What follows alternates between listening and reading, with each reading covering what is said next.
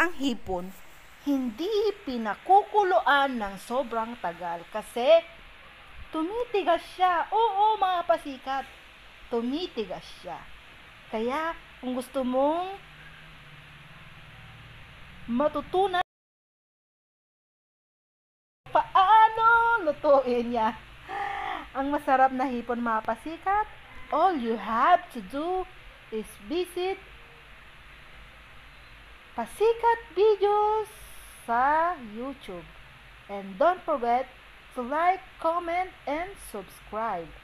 And kung gusto mong malaman kung paano lutuin to, ano pang hinihintay mo mga pasikat? Punta ka na sa YouTube and search Pasikat Videos, makikita mo ang recipe na to. Thank you for watching. Bye-bye!